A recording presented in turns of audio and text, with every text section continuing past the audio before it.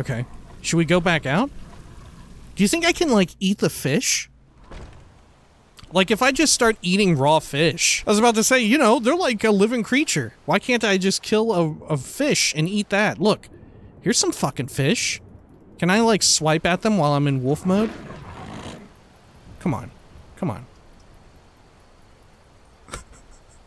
I'm the greatest hunter. I'm one of Hircine's greatest horrible creations.